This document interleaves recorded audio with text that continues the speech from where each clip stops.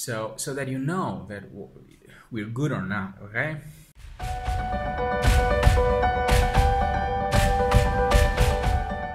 What is going on everybody? I hope you're all doing great and this is a real important video.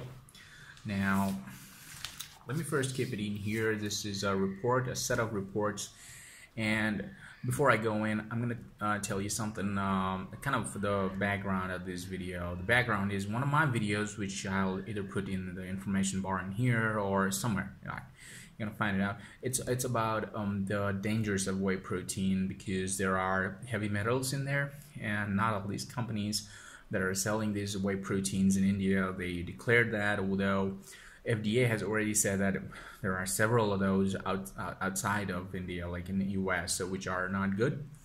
Um, that had good response, and a lot of people said that which are the whey proteins in India that say that. At that point in time, I found only on Amazon one protein company saying as it is nutrition.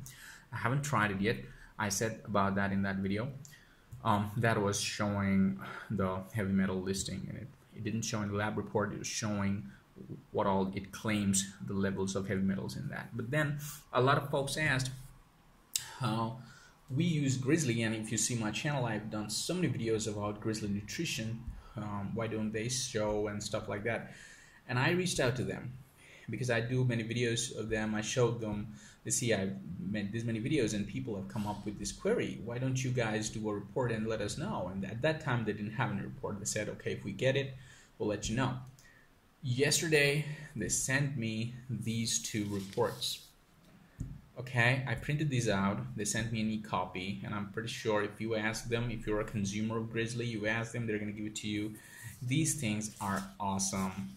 They have not only created these reports got them done from this place called uh, iDreams Health and Healthcare and Labs uh, I believe the authenticity of these things can be verified online or if you go check it out.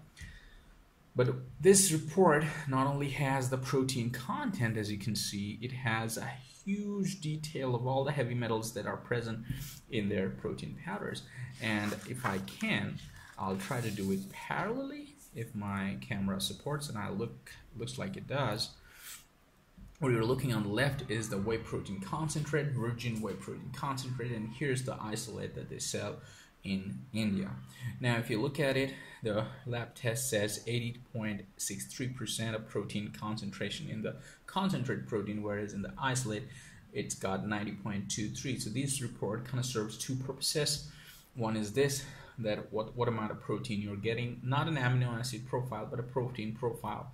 Uh, that itself is good. Uh, and then from here, we're looking at heavy metals. If you can see, I think my video is pretty clear for you to see.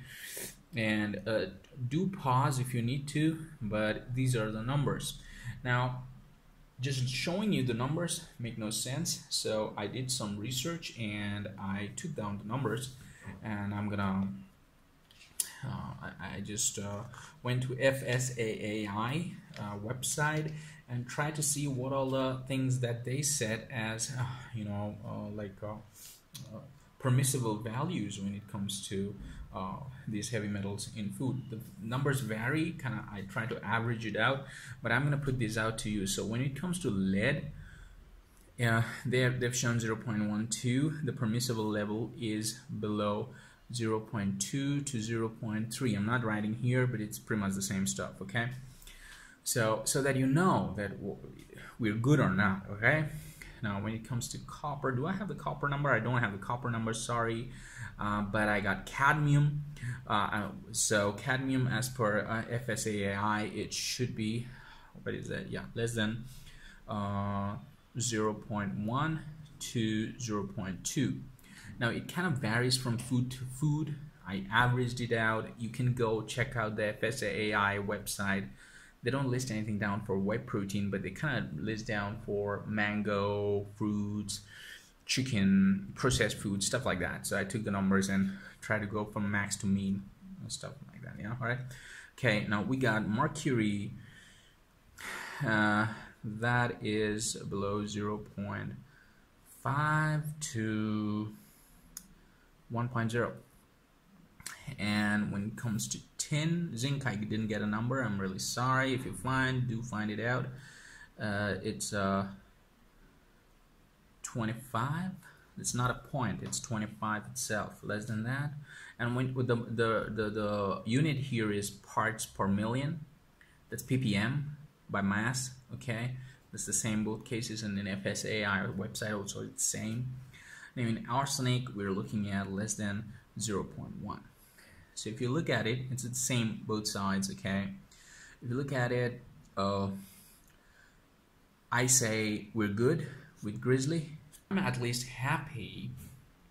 I'm happy that Grizzly went ahead and published this report. I, I don't think they published it in Amazon. I checked, but maybe they will soon.